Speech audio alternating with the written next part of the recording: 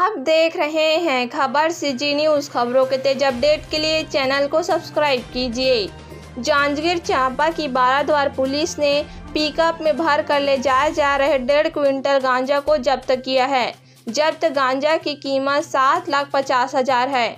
आरोपी pickup driver Madhya Pradesh के डिंडौरी का रहने वाला है। ओडिशा के संबलपुर से मध्य प्रदेश ले जाया जा रहा था।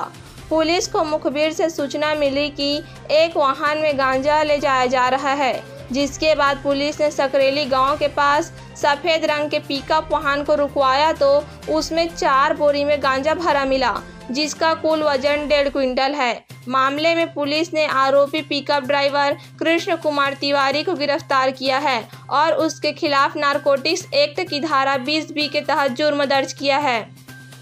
ब्यूरो रिपोर्ट, खबर सीजी न्यूज़। हमारी खबरों को फेसबुक ट्विटर और इंस्टाग्राम में भी आप देख सकते हैं।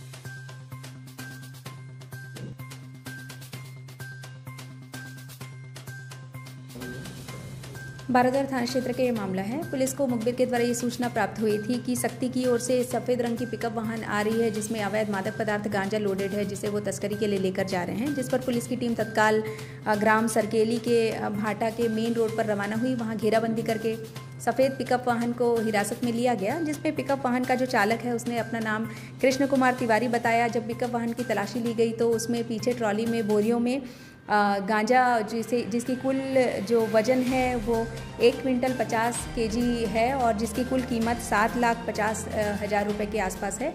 इसे पुलिस के द्वारा बरामद किया गया है और पुलिस के द्वारा एनडीपीएस एक्ट की धारा के तहत विधिवत कार्यवाही करते हुए आरोपी कृष्ण कुमार तिवारी को गिरफ़्तार किया जा चुका है और समस्त गांजा को भी इसमें जब्त किया गया है। आरोपी की गिरफ्तारी कर पुलिस के द्वारा आरोपी को न्यायिक हिरासत में भेजा जा चुका है। अभी इसमें और भी जाँच की जा रही है। कुछ नंबर्स भी पुलिस के द्वारा लिए गए हैं, जिसकी तस्दीक पुलिस के द्वारा की जा रही है कि इसमें और लोगों की संलग्नता है या नहीं।